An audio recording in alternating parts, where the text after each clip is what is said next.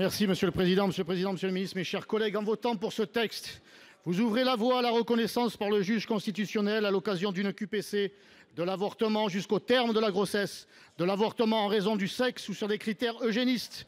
De même, quelqu'un qui voudrait soutenir la vie à naître pourrait être pénalement sanctionnable face à cette valeur suprême qu'est devenue l'avortement.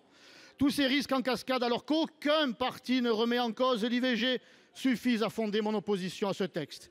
Une fois ce texte rejeté, nous pourrions valoriser ce qui honore nos principes constitutionnels et civilisationnels en réfléchissant à une grande politique familiale française incitative par une meilleure protection et un meilleur accueil de la vie.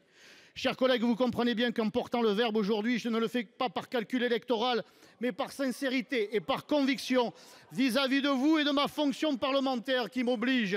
J'en appelle à votre courage, mes chers collègues de droite, et vous invite à être des femmes et des hommes et des parlementaires libres.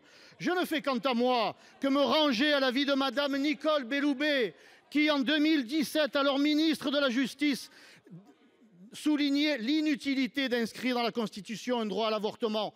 Même chose pour François Bayrou, même chose pour la présidente de l'Assemblée qui, en 2018, affirmait « Je ne crois pas que la France puisse être suspectée de remettre en cause l'avortement. Je ne crois donc pas utile de l'inscrire dans la Constitution. » Je me range à votre avis, monsieur le, ministre Dupond-Moretti.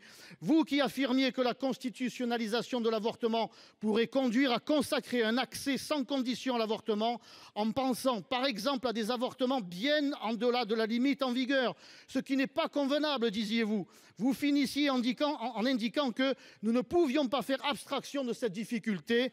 Pour ma part, constant dans mes convictions, je voterai contre cette inscription d'un droit à l'IVG dans la Constitution.